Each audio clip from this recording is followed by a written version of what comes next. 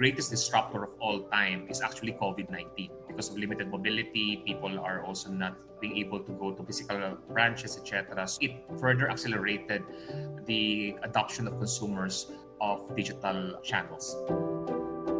We are now being able to provide uh, the services needed by our The Philippine Capital Region has completed yet another two-week lockdown. What are we doing right and what are we still doing wrong? Have you gotten your own confidence of how you are handling it? Wala silang ganon, walang sila semblance sila ng pamamaraan ng pag-iimbestiga. Nobody gives you money for research. Nobody donates to you. Where does it start and where will it end? It's the president saying that no, you release it in 10 days. Catch Tina Monzon Palma reports only here on ANC.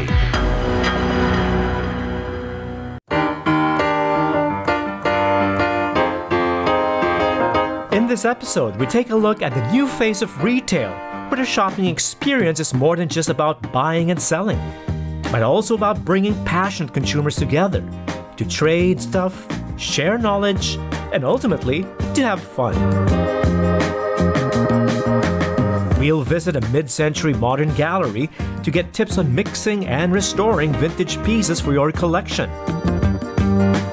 Park ourselves at a car cafe to enjoy motorsports art and culture amidst classic automobiles.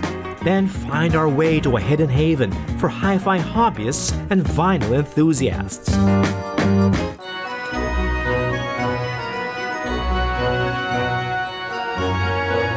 Philippine senators question the alleged special treatment given by government to Pharmaly. The Philippine Senate will also issue an arrest warrant for Michael Yang for snubbing its probe into government's pandemic supply deals. The Philippines reports 18,012 new COVID 19 infections. And Philippine inflation rises to a more than two year high in August. Good afternoon, I'm Ron Cruz. And I'm Dries Densay. You're watching Top Story.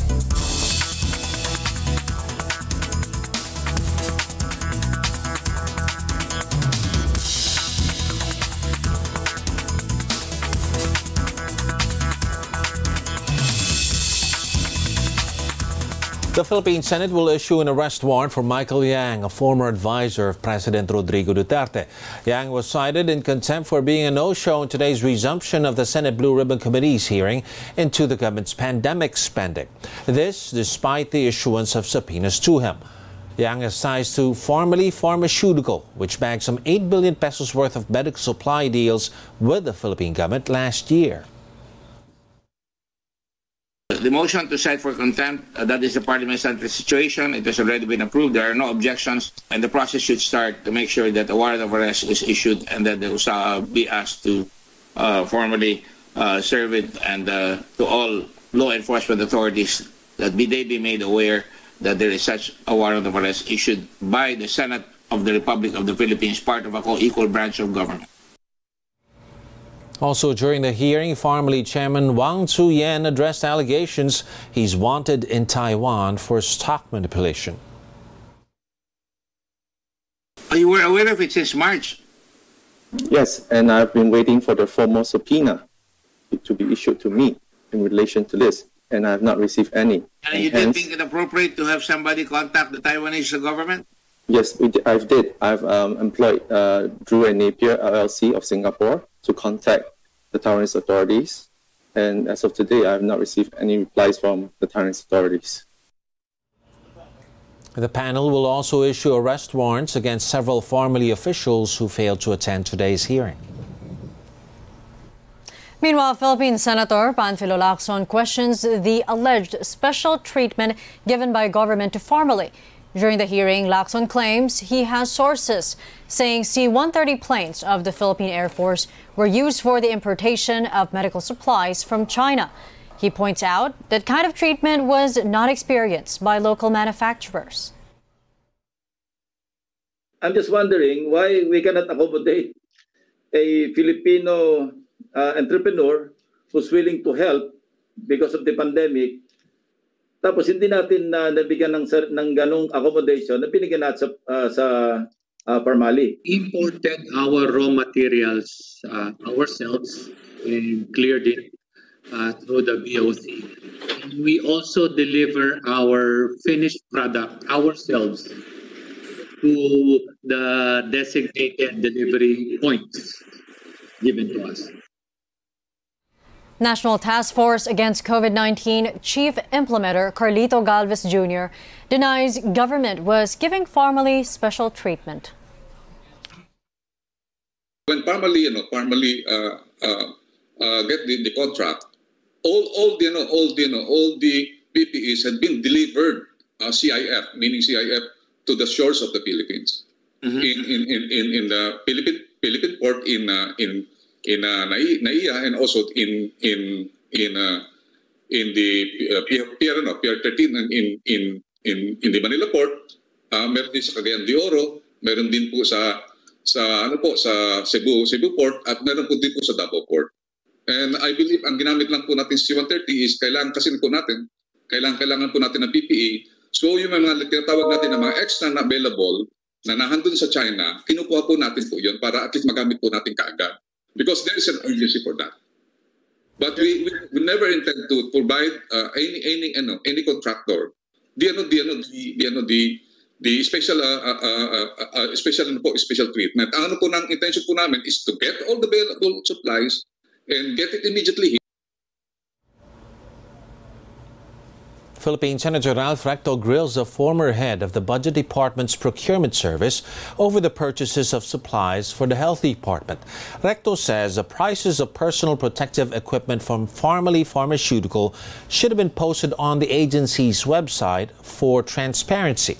The senator says this is important, especially as the price of supplies from local producers is lower than those bought from the controversial firm. So magkano ang delivery ng family? Oh. around 12 million pieces for the month of April and May.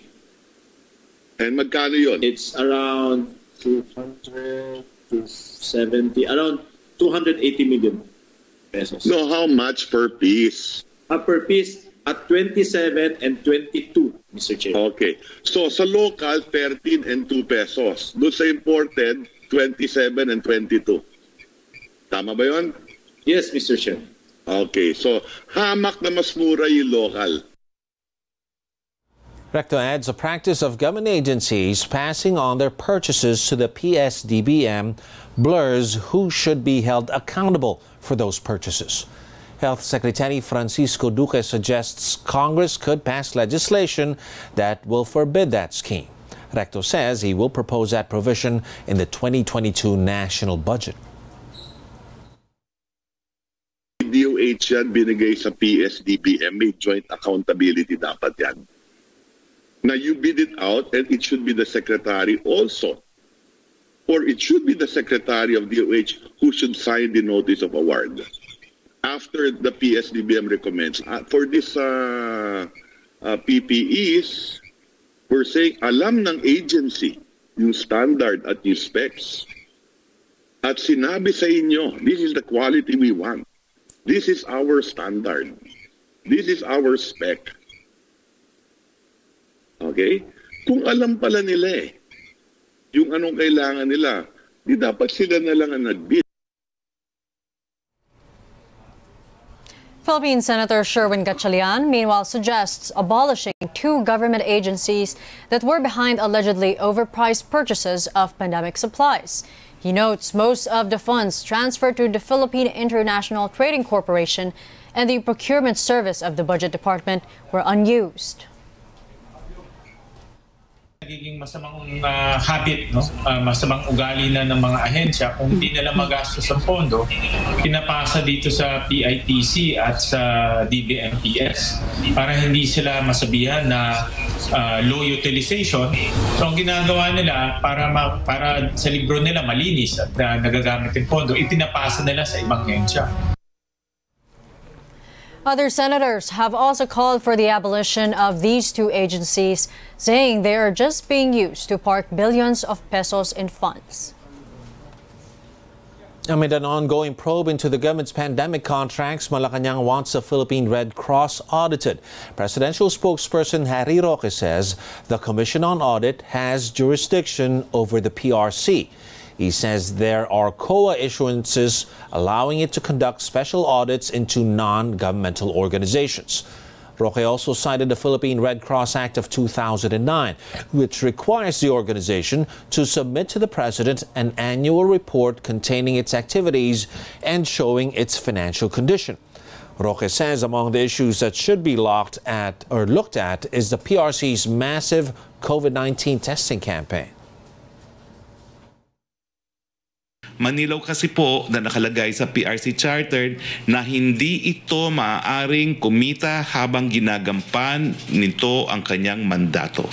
Ang advance payment clause sa MOA ay klarong paglabag sa PRC Charter at Bayanihan to Heal as One Act kung saan reimbursement in the distribution of goods and services ang pinapayagan. Reimbursement, wala pong advance payment. Bukod pa rito, 3 million 3,500 pesos po ang test testing na sinisingil ng PRC. Ito ay mas mataas sa 2,077 pesos na dapat nilang tanggapin kung ang mga kagamitan ay galing sa donasyon. Kaya kinakailangan natin malaman lahat ba ng uh, mga makina ay donated, ilan ang donated at magkanong siningil. Get it. President Rodrigo Duterte earlier said he wants COA to look into the finances of the PRC. This is after Duterte lashed out at PRC Chairman Senator Richard Gordon and accused him of using the Red Cross for his political career.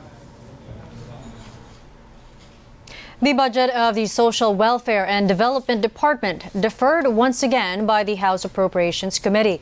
That's after minority lawmakers on the panel protested the alleged red tagging by Allen Capuyan, chairman of the National Commission on Indigenous Peoples, which is an attached agency of the DSWD. Capuyan is also the executive director of the National Task Force to End Local Armed Communist Conflict.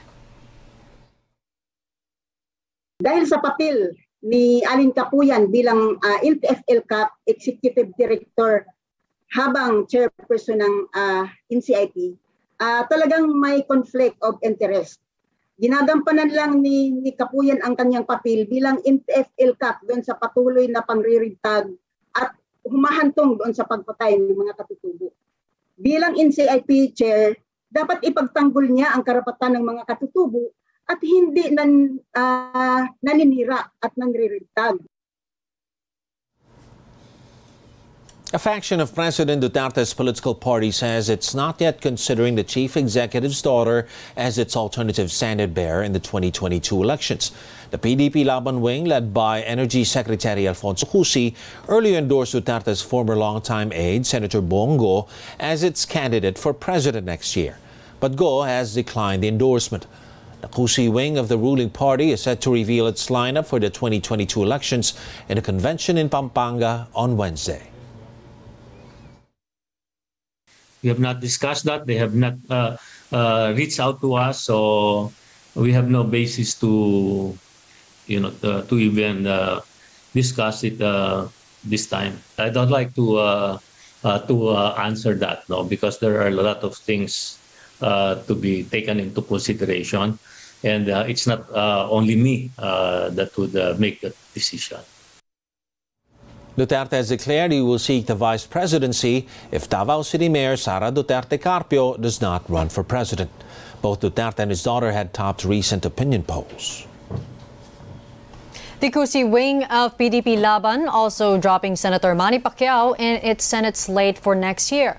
The faction earlier offered to carry Pacquiao in its Senate slate after ousting him as party president following a word war with President Duterte. But Pacquiao's faction ousted Duterte from his role as party chairman last month. We have been uh, uh, inviting him, uh, been wanting to meet with him. Uh, but unfortunately, he closed the door of uh, no?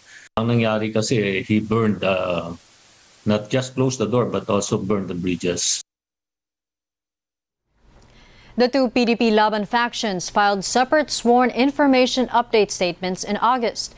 The group that will fail to get the poll body's approval would have no right to issue certificates of nomination and acceptance needed to run under a party.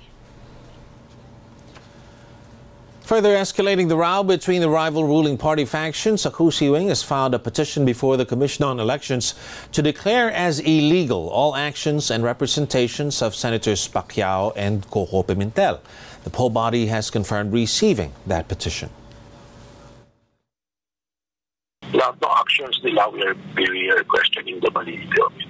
We are asking the COMELEC to uh, representing they official uh, uh, representative of Laban. Senator Pimentel says he will go over the petition as he stresses his long running ties with the ruling party. He adds he only knows of one PDP Laban, which was founded by his father, the late former Senate President Nene Pimentel.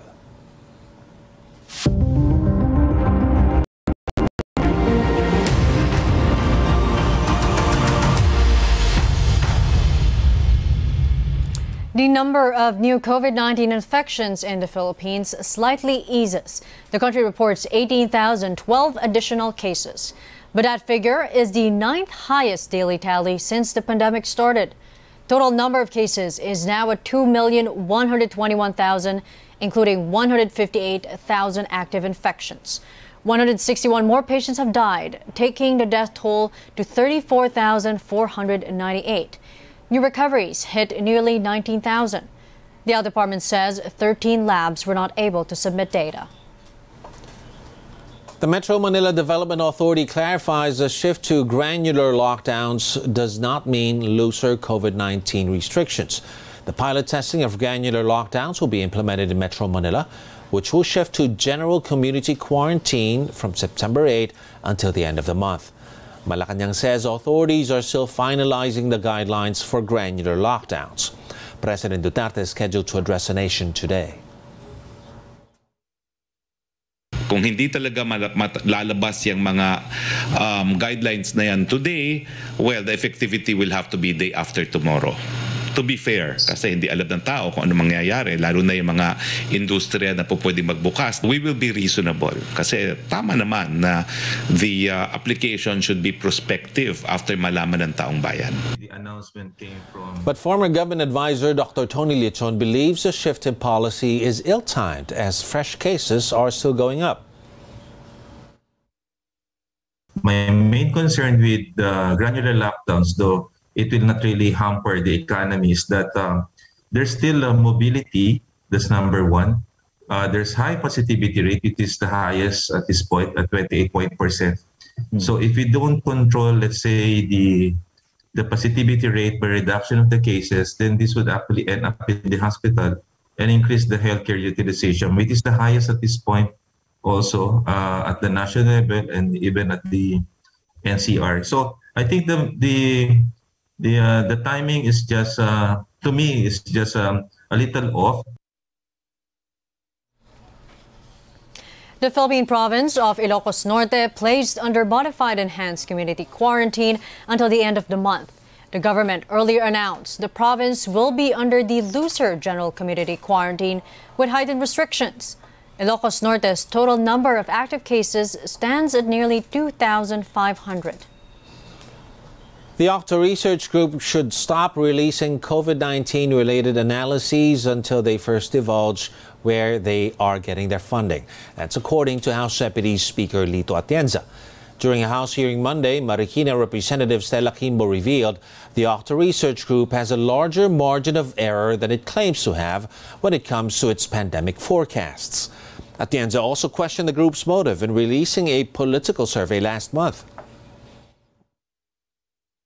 O sa Negera, merong propaganda uh, airing in the front lines. Octan, at this point in time, uh, can influence the next election. A very prominent role in the fight against COVID. Bigla kang lilipat ngayon. And according to our surveys, if elections were held today, Karen Davila will run away with the presidency. Hindi na ginawa nila eh. So kung hindi natin kukorekin yan, magkakagulo-gulo pati itong ating darating na halalan.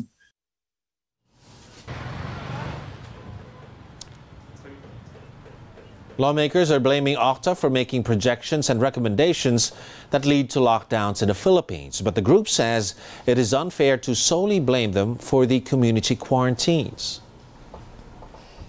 Another House lawmaker clarifies the lower chamber of Congress does not wish to censor the Octa Research Group.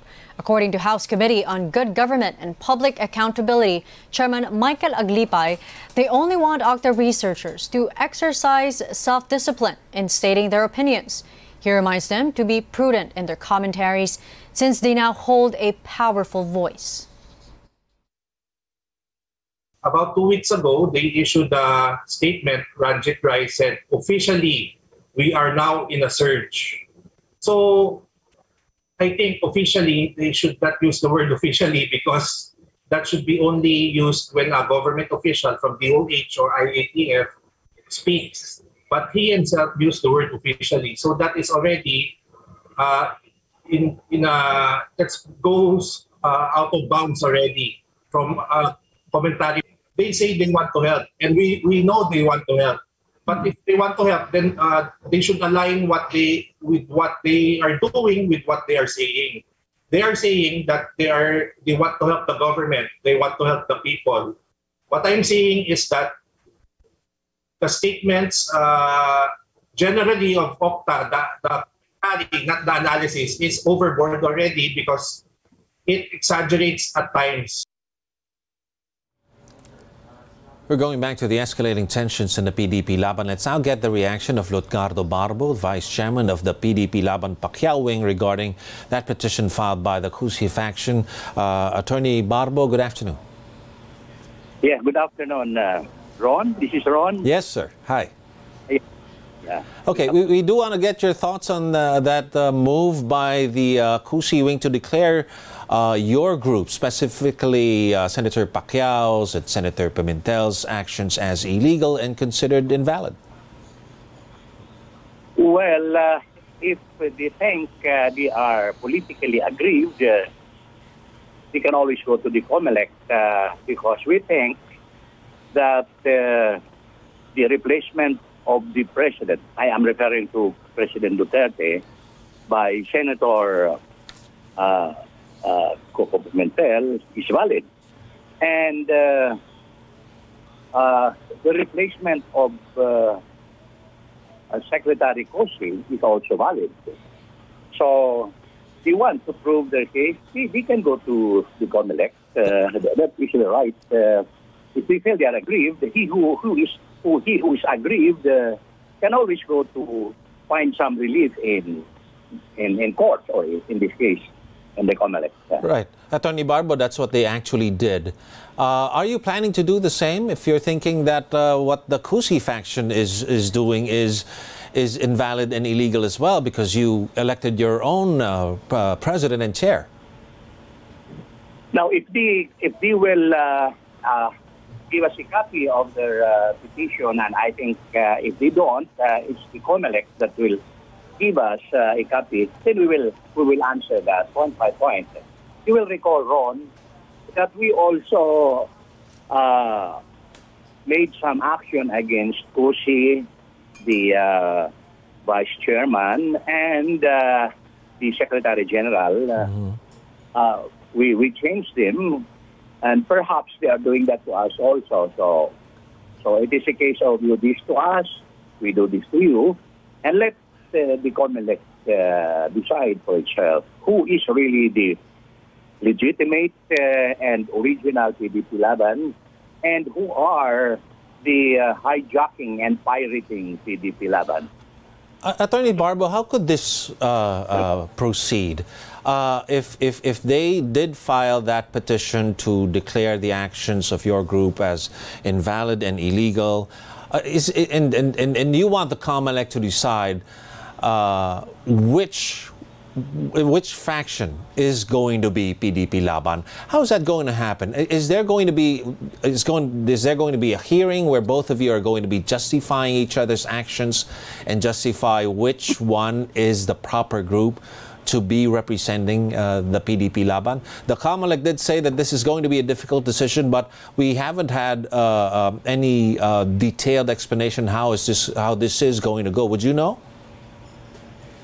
You're right, Ron. Uh, uh, the COMELEC will have to decide this. Uh, uh, the uh, hijacking party of uh, Al Cusi filed the case, and then the COMELEC will try to check our side, find out how, how, how we reply to them, and there will be hearing. You're right, there will be hearing.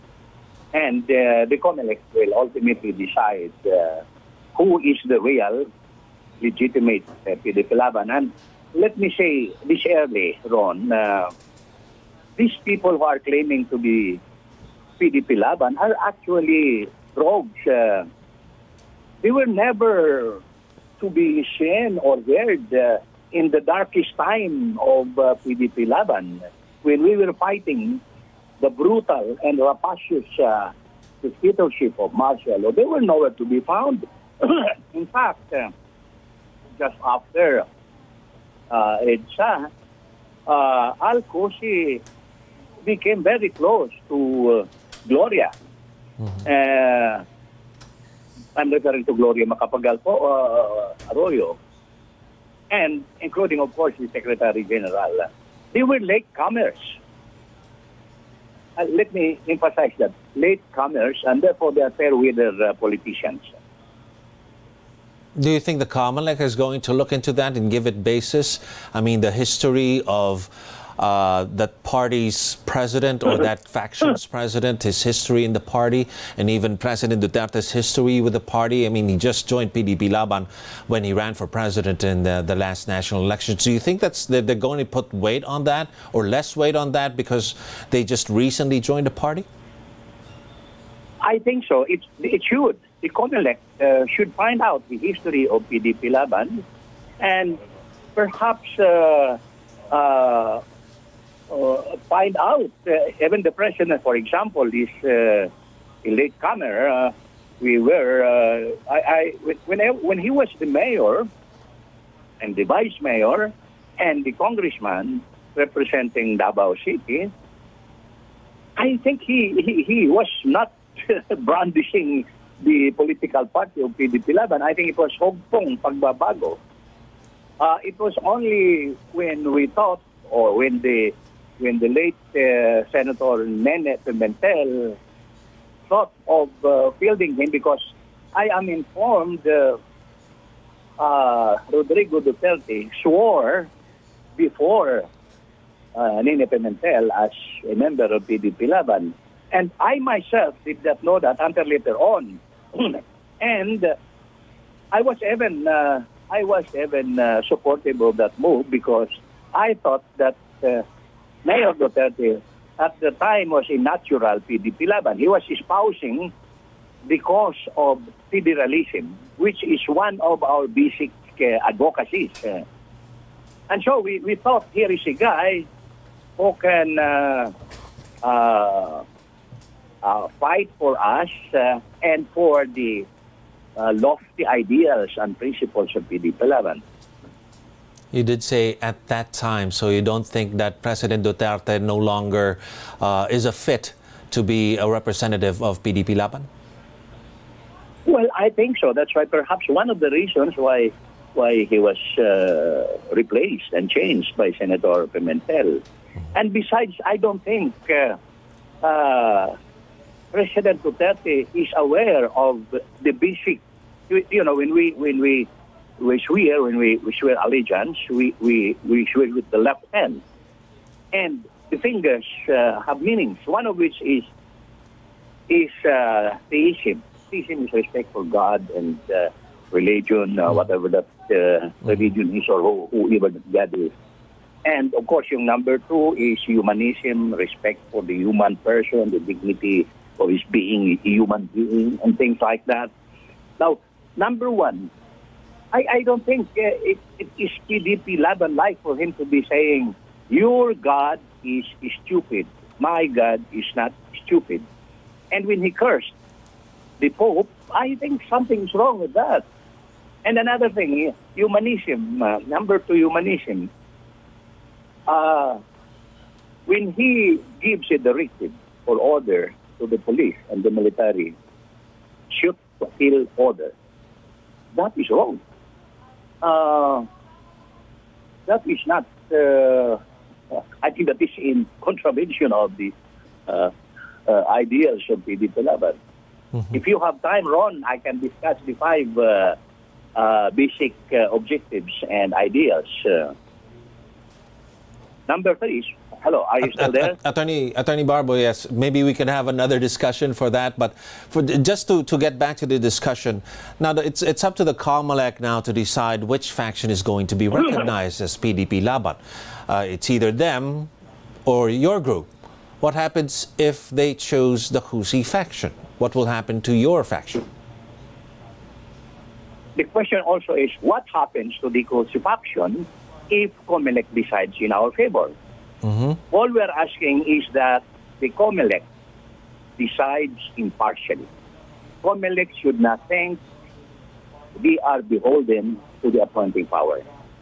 Just like the, the Supreme Court, assuming uh, any one of any one of the group, the two groups, uh, will go to the Supreme Court if dissatisfied uh, with uh, the COMELEC. Uh, all we are asking is let us be impartial and be objective. It's not because you are in government.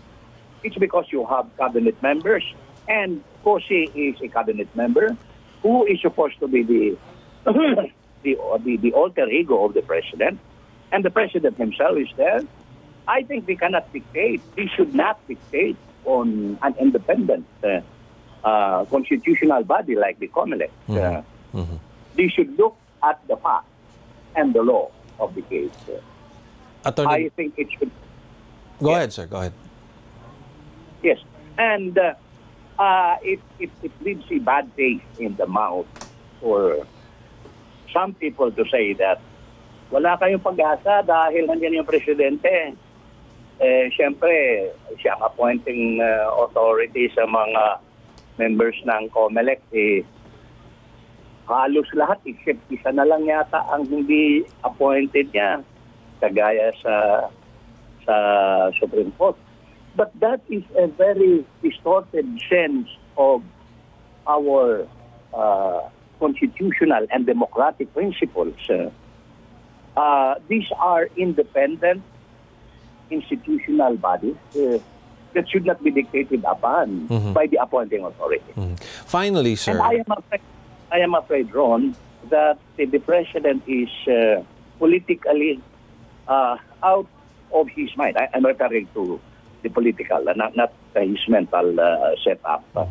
When he orders, when he orders, for example, the Senate to stop the investigation about anomalies and irregularities, he is wrong. The president is wrong.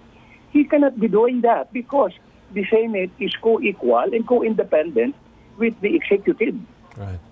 Much just like uh, when he says, uh, stop flagging uh, some irregularities of uh, national uh, government agencies. I will audit the COA. That is wrong. Uh, uh, uh, Ron, the, the last time I checked, we are still a democracy. We are still a democratic government. We are not yet uh, a dictatorial form of government. Uh, we should be guided by some basic tenets of Right, sir. democracy. Uh, Attorney Barbo, sorry, run, we're running out of time. I, I just have one more question. The the Cusi wing is set to hold their National Assembly tomorrow. Um, when are you going to hold yours, and when are we going to find out uh, who your uh, candidates are? If it is going to be Senator Pacquiao uh, to to uh, run as your president, and who will be the vice president, and the people who can make up the uh, Senate lineup. Uh, I know that uh, we are going to have uh, the General Assembly one week from now. I think that should be 18 or 19, or I, I'm not sure, uh, or, or uh, thereabouts. Uh, Now, who will be who will be our candidate or candidates? Uh, uh, uh, I am sorry, uh, Ron. I am not at liberty to divulge that. Uh, I think we will have. I, I am not really authorized to, to say who are running in the party because there is a process. Uh, the candidates will be selected and be nominated, uh, and we will find out who they are. Right. Well, we'll just have to wait for that next week. Attorney Lutgardo Barbo of uh, PDP Laban, thank you very much, sir, for talking to us. Thank you, Ron. Thank you very much. Up ahead, over a thousand passengers stranded in Philippine ports due to Typhoon Jolina. And Philippine shares rise as investors brush off the latest inflation print. More news when we return.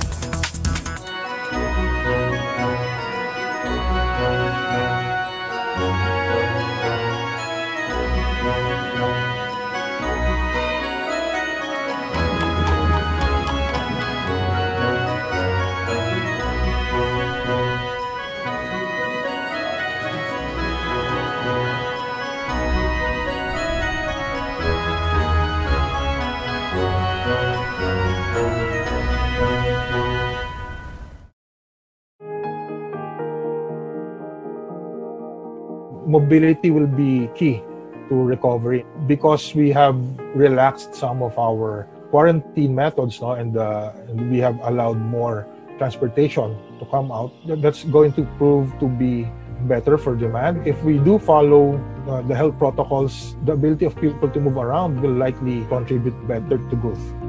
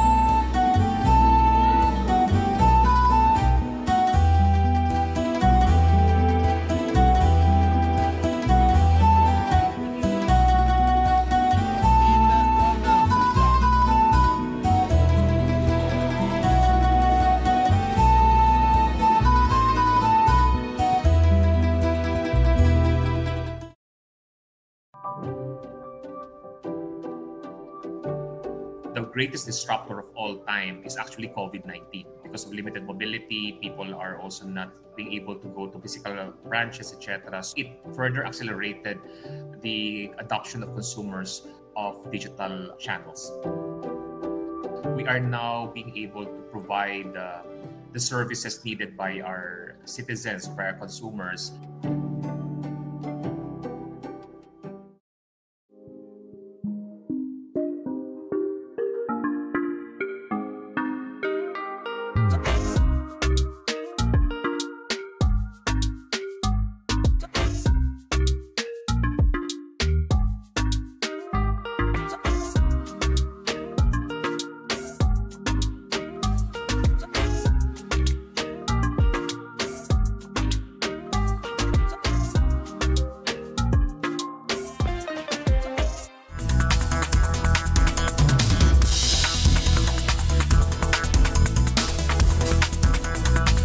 Welcome back. You're still watching Top Story. Let's now get an update on Typhoon Jolina, which affected parts of the Philippines. Pagasa forecaster Joey Figuracion now joins us for the latest. Joey? Yes, Ron, good afternoon. Uh, severe tropical storm Jolina further weakens while moving over the Sibuyan Sea.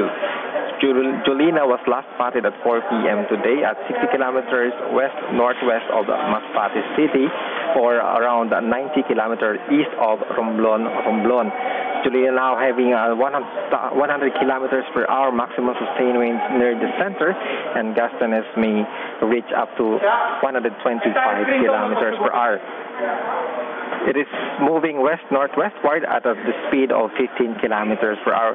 With its course right now, it is expected in the coastal waters of, of Sariaya, Quezon in the next 24 hours.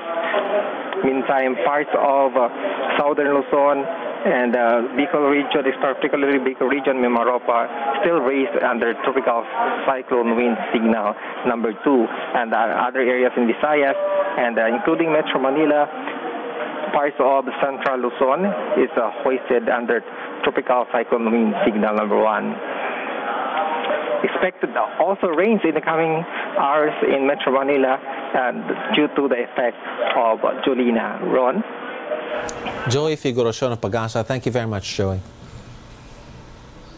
Over 1,500 passengers are stranded in major ports in eastern Visayas after Philippine Coast Guard enforced a no sailing policy due to Typhoon Jolina. The suspension of sea trips has also left nearly 300 people stranded in Bicol. Over in Ormoc City, some residents of Barangay San Isidro had to be rescued from their homes after being trapped by neck-deep floodwaters. Jolina's strong rains also triggered flooding in Merida town in Leyte. Electricity was also cut off in the area. Malacanang vows aid for affected residents. Naka-preposition na po ang ating magiging tulong galing sa DSWD. Nakahanda po ating mga um, centers na paglilipatan kung kinakailangang lumikas sa mga tinitiran. Uh, handa rin po ang ating mga health protocols sa mga uh, centers na yan. No? At uh, ang sinasabi ko po, uh, sanay na po tayo sa mga paghamon uh, uh, dahil po sa bagyo at sa ulan. Eh, paintingin lang natin yung mga health protocols lalong-lalo na kung pupunta po tayo sa mga evacuation centers. Pero handa po tayo. Nandyan po lahat ng tulong, naka-preposition na.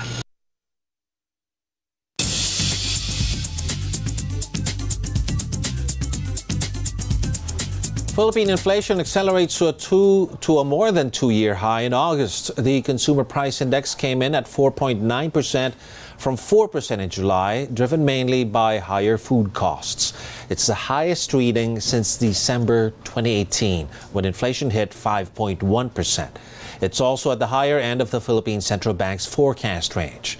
Governor Benjamin Diokno sees inflation falling towards midpoint of the BSP's target next year and through 2023 as government implements measures to address supply side pressures on key food items. Diokno also vowed to keep the central bank's current easy money policy for as long as the economy needs it. That's as one economist says, faster inflation will impact the country's recovery from COVID 19. Philippines is highly dependent on, on the household uh, final consumption for growth. And whenever you have uh, you know consumer prices uh, accelerating by 4.9%, this is definitely going to shave off um, a good percentage uh, from that. Uh, households are already struggling under the weight of this pandemic, and we're, we continue to be in recession. Less Filipinos were jobless in July. The Philippine Statistics Authority says the country's unemployment rate was at 6.9%. That's equivalent to 3.1 million unemployed persons, down from the 3.8 million recorded in June. It's also the lowest unemployment rate since April last year. The PSA, the PSA says the industry and services sectors saw the biggest increase in employment Underemployment in the country, meanwhile, went up to nearly 21%, more than 6% higher than what was recorded in June. The country's economic managers attribute the lower unemployment rate to relaxed lockdowns, but they add risk aversion and precautionary behavior led to more Filipinos leaving the labor force. The economic team says government will continue to strengthen healthcare, speed of vaccinations, and impose targeted lockdowns so more people can go to work. The PSE index pierces through the 6,900 level as investors digest a mixed bag of economic data releases here in the Philippines. Rain Musngi reports. Philippine shares recover from Monday's decline as the country's August inflation and July jobs report were released. The main index broke back above the 6,900 level after gaining half a percent. Regina Capital says investors brushed off the latest inflation print and took note of the Japan Credit Rating Agency's move to affirm the Philippines' A minus rating. First Resources Management and Securities, for its part, attributes the advance to investors' optimism over the easing of quarantine restrictions across Metro Manila and other areas. While it expects some correction in the coming sessions, it is confident the market remains attractive for both local and foreign investors.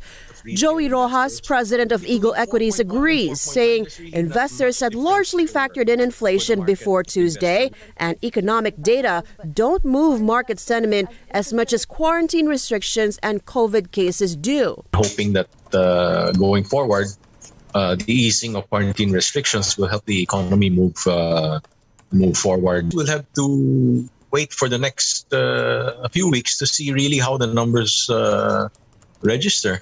Among the day's most active stocks, Converge gained as it reminded the market it would be the only Philippine company to be added to the small cap index of the FTSE Global Equity Index series. The index inclusion will take effect at the close of business September 17th.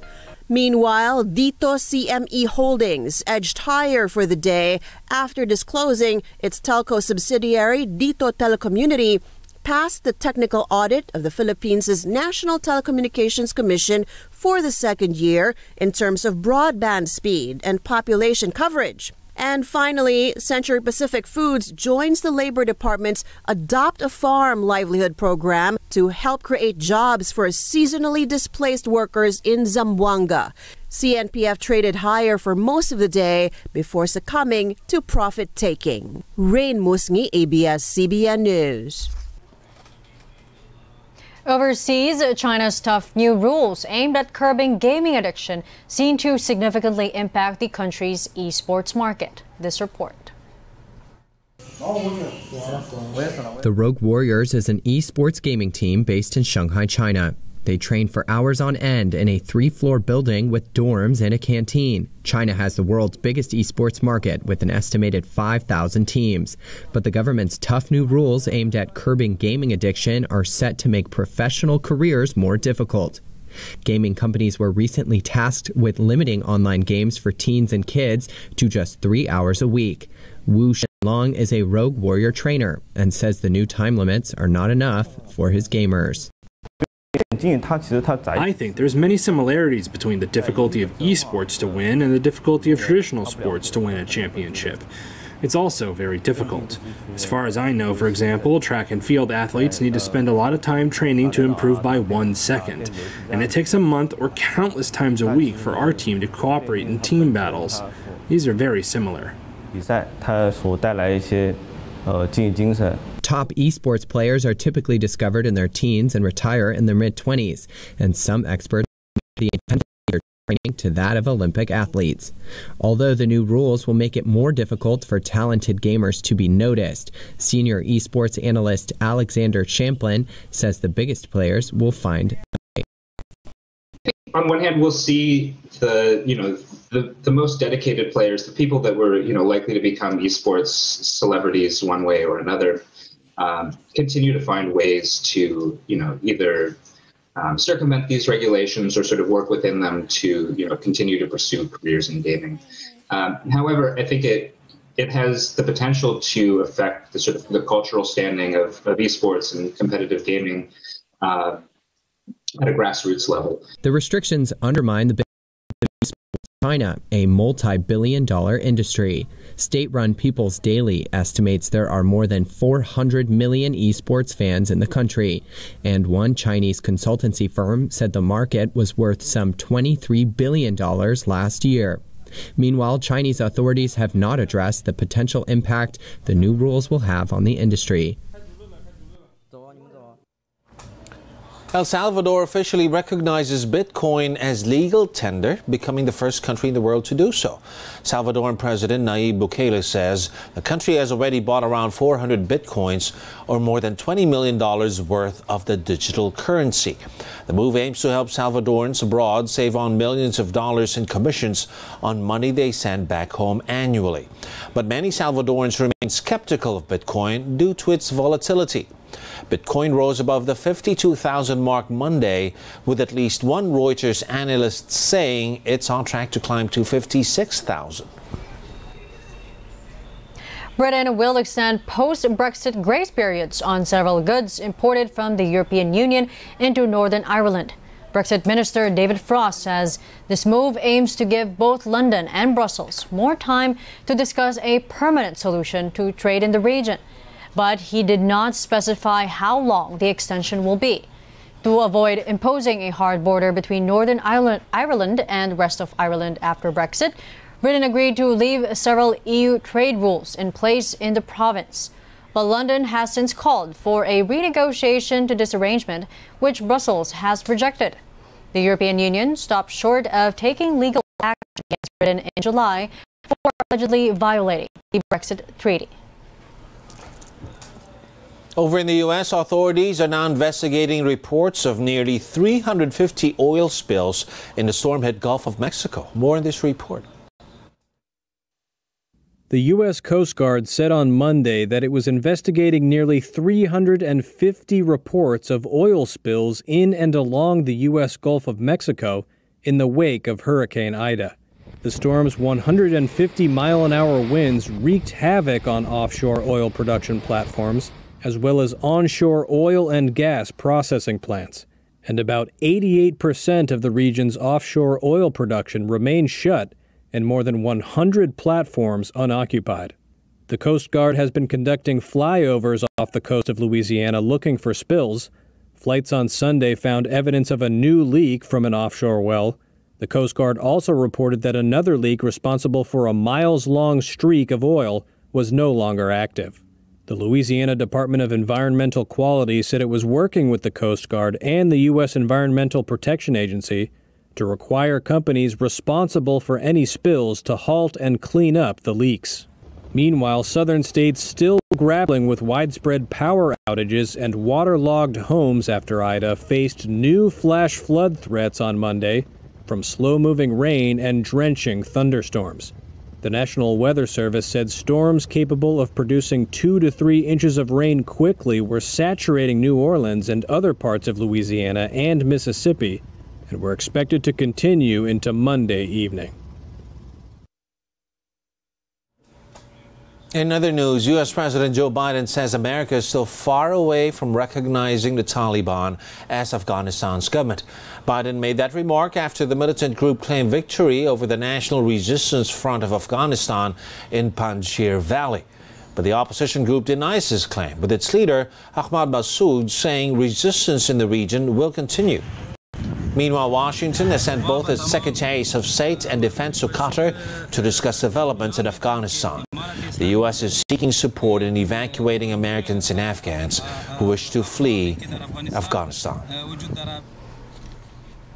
Hundreds of medical facilities in Afghanistan at risk of closure. That's as donors that provided financing are not allowed to deal with a government run by the Taliban.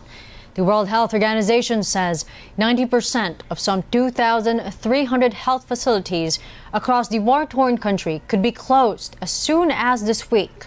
The WHO is seeking to fill the gap by providing supplies, equipment, and financing. But the group and other partners are struggling to deliver as the situation at the Kabul airport is still uncertain. The WHO says it's already coordinating with Qatar, which has been allowed to run the airport. It's also exploring land deliveries from Pakistan. That will be associated with an increase in illness and death, we would expect. Uh, and also rolling back the tremendous health gains of the last 20 years if those closures are sustained. So it's a very urgent issue to get clarity on how the financing for those facilities can uh, can be reinitiated um, ASAP. A small non-profit organization in Afghanistan seeking an influx of people asking for assistance. The group says hundreds of families across Afghanistan are desperate for food and shelter.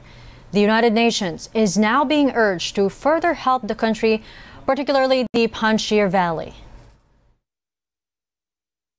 So they all left their houses and come and sit somewhere close to my office in Kabul uh, office and um, it, it, was 900 people with so many children, so many families, breastfeeding children, pregnant women. They all come and sat on the ground without nothing. So complete disaster, complete disaster.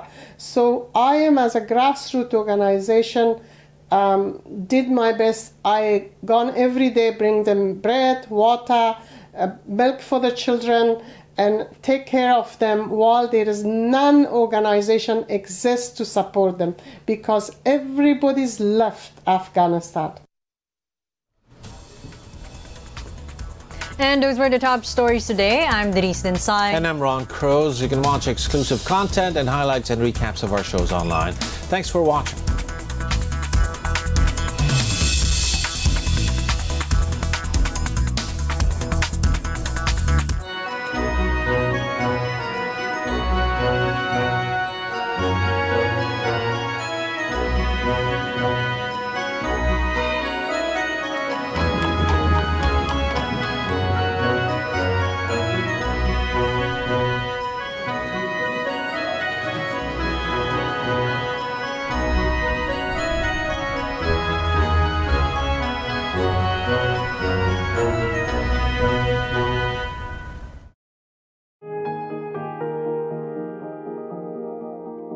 Mobility will be key to recovery because we have relaxed some of our quarantine methods no, and, uh, and we have allowed more transportation to come out. That's going to prove to be better for demand. If we do follow uh, the health protocols, the ability of people to move around will likely contribute better to growth.